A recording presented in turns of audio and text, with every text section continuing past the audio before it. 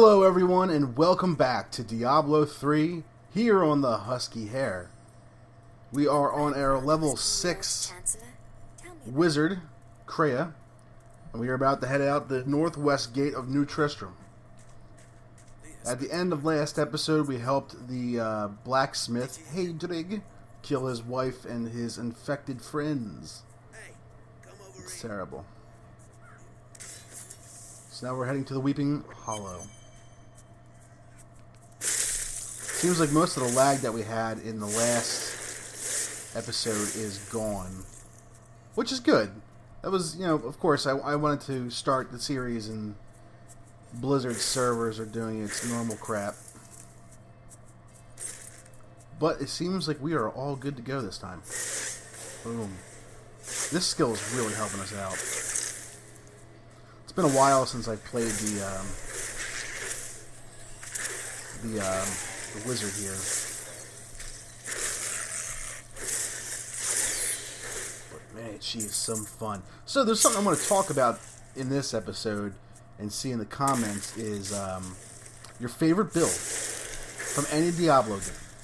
Diablo 1, 2, whatever, 3.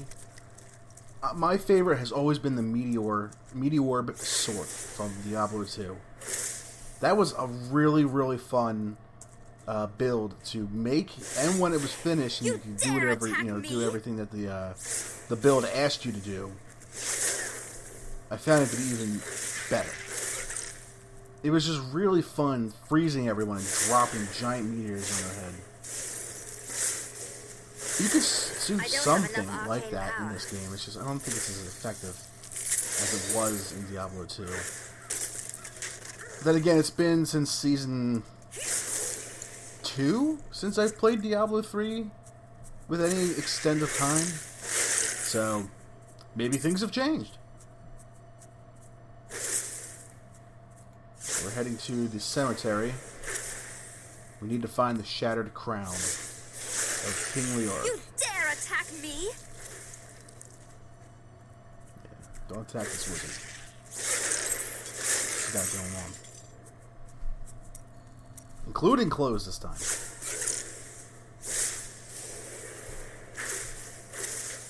We are about to level up here. Level 7. We're high rolling. We're actually making pretty decent progress. Let's kill these guys. Nice Level 7. There we go. Are unlocking anything here? Ray of Frost? No. That's it. Shouldn't take us too long to get something for our arcane orb. See, I was always a Meteorb Sorc person. Uh, besides that, the Bone Necromancer, which was infamously giving the nickname of Boner, uh, was also a favorite of mine. Let's go up in here. There's multiple crypts up here, and you go through them, hoping ho hopefully you get the right one. If not, you're still going to get some pretty nice experience going through the other ones. So it's a win-win, really. But um, yeah, Necromancer as much as I love the um, the Meteorb Sorc, my favorite class in Diablo 2 by far is the Necromancer. There's just so much you can do with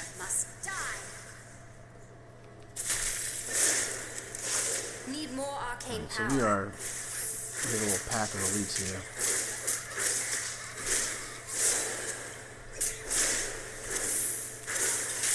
Do some He's almost in teleport. So he's a little annoying. He doesn't seem to be using his skills very much, though. So he didn't drop much besides gold. Oh well. What are you gonna do? Insignius the Discordant.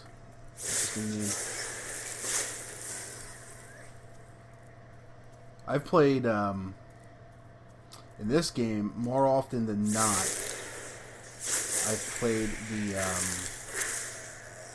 the Crusader. But before the expansion came out, I was more of a Witch Doctor player. I really enjoyed the Witch Doctor. That was my first level uh, 60 in this game. Is this a, yeah? We have an event here. Grave robbers have defiled. New events. The Matriarch's Bones. So you go to these three pots, you grab her uh, remains, and you put them in the tomb. Simple as that. Nice, quick event. Nothing out of the ordinary.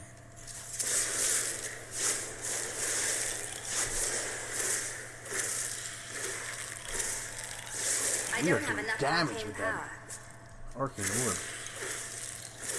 He was our MVP so far for the uh, for the run. It's also been a while since I've leveled up from like you know fresh level one too. And when these uh here we go, Lord Dunhill, her husband. So let's freeze him up. So when these seasons came out, you got rewards for doing things, and obviously um, they don't stay around forever. They're they're limited time. So we would rush each other to level seventy, get the uh, nice sets and whatnot, then try and find the cool items and, like the weapons and whatnot. So I can rest it's it feels nice to be able to just level up fresh again, experience the whole game the way it should be. And I'm going to take this series just up to um, the uh, level 70, just the end of the actual story. Seems like a pretty good series right there. As for like torments and whatnot, I've never really exactly been um, too into doing um, that stuff by myself because it, it can be difficult. I know there's plenty of players out there that do it by themselves, and I'm, I'm happy for them. Good job. But I'm I'm just to, be- to be honest, I'm not that good. So you know, we might actually take this character into some torment with some friends. Might do that, but we're gonna focus on getting level 70 first. Protection shrine. This is a pretty long um, tomb here. I'm actually starting to wonder if we picked the right one first.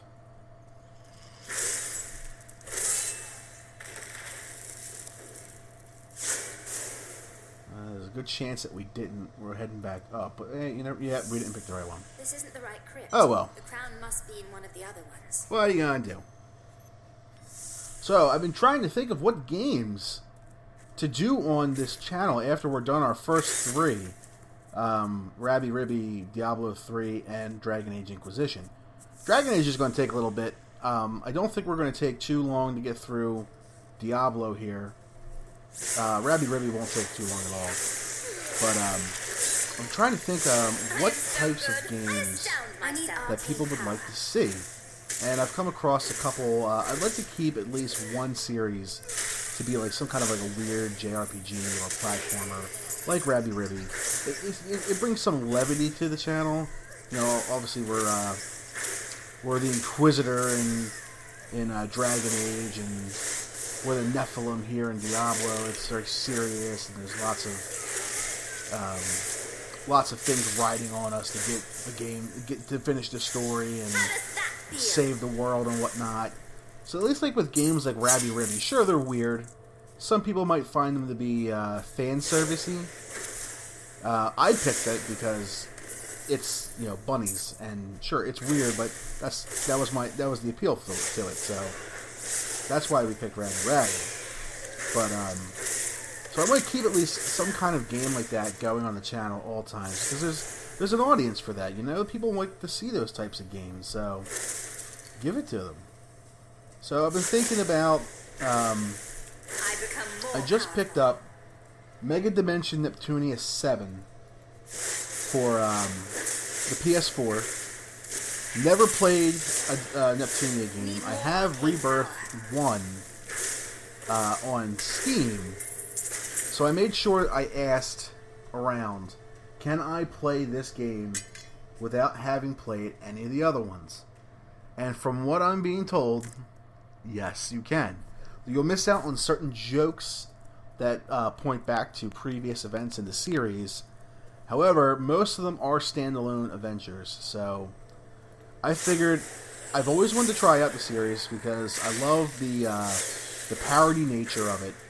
You, you're basically, from what I understand, you're playing almost as like a humanized game platforms, and like the the world you live in is like a it's it's like a living computer type thing. It's pretty interesting. I could be completely wrong there, but I'm pretty sure I'm on the track of what it really is. And um, it just seemed like it was quirky, and that I could have some fun with it. So I picked it up for the PS4. And ooh, ooh, treasure goblin. Oh no. I don't have enough arcane power. You dare attack me? Oh no, we're gonna miss him. We're gonna lose him. We're gonna lose him. Oh, we're gonna lose him. No. No. No. You stay here. You give me. You give me treasure. We got treasure. Just a bunch of crafting mats. Ain't that glorious? Glorious. Oh well. You never want to leave a treasure goblin hang. You never know. Plus, you can get the greed. The, they're like uh, their realm, which I've never been to. So hopefully, at some point in this playthrough, we get to do that, if that's possible. In this, I'm not sure if you have to be in this like a certain like torment level or something like that. But um, all right, let's see if we got the nope again.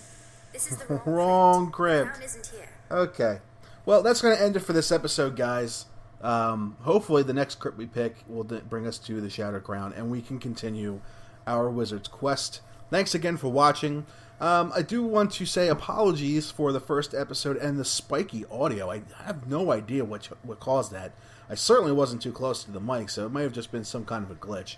So hopefully this one turns out a lot better, and we don't have to put no annotation warnings in the beginning. So thanks again for watching. I'm glad the channel is finally up and running, and we're on our second day here. Uh, appreciate you all being here, and check out the other uh, videos and enjoy. New videos are coming out every day, and I would appreciate it if you stick around and watch them. You can find two of them right here. Oh, and a sweet picture of Bun Bun. You want to make her happy, right? Do the right thing. Push that big red button down there. Subscribe to the channel, get some more awesome content, and follow me at those social media pages. Thanks again.